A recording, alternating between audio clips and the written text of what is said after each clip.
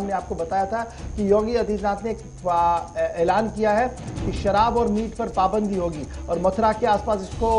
करने की बात की गई थी और सिर्फ़ 10 दिन के अंदर अंदर योगी इंतजामिया ने बाजाबता तौर पर हुक्मनामा भी जारी किया और इसका इतलाक भी हो गया है। योगी आदित्यनाथ की तरफ़ से जो आज से 10 दिन पहले बात कही गई थी, उस ऑर्डर को इंप्लीमेंट करवाया गया है और मथुरा के 22 वार्डों के अंदर अब न तो शराब बिकेगी और ना ही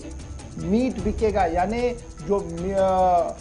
गोश्त होता है, न वो वहाँ पर बिकेगा और ना ही शराब बिकेगी। 22 वार्ड मथुरा के डिक्लेयर किए गए हैं, होली। यानी पवित्र इन्हें कहा गया है कि और इस पवित्र इलाकों के अंदर अब आप किसी भी तरीके से न तो शराब बेच सकते हैं और ना ही मांस मछली वहाँ पर बेच सकते हैं। योगी आदित्यनाथ की तरफ़ से नोटिफिकेशन जारी कर दी गई है और 22 वार्ड जो जुरिस्डिक्शन मथुरा और वृंदावन के आते हैं म्यूनसिपल कॉरपोरेशन के, वहाँ पर पाबंदी आयद कर दी गई है और कहा गया कि जो भी इसकी खिलाफ वर्जी करेगा, उसके खिलाफ सख्ती के साथ कदम उठाया जाएगा। एडिशनल चीफ सेक्रेटरी की तरफ़ से यह बात सामने रखी गई और यह कहा गया कि रिलीजियस अफेयर्स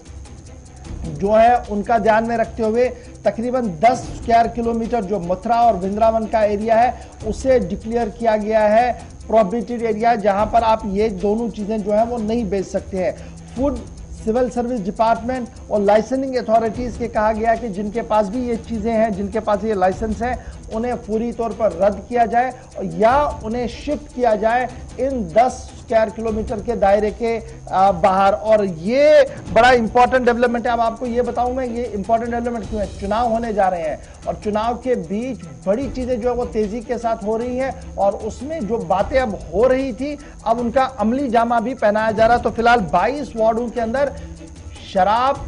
और मछली मांस पर मुकम्मल तौर पर पाबंदी आयद कर दी गई है, यानी मीट पर पाबंदी आयद कर दी गई है, गोश्त और शराब अब 10 वार्ड्स के अंदर बाबा तौर पर पाबंदी होगी। हुक्मनामा रात देर गए जारी कर दिया गया।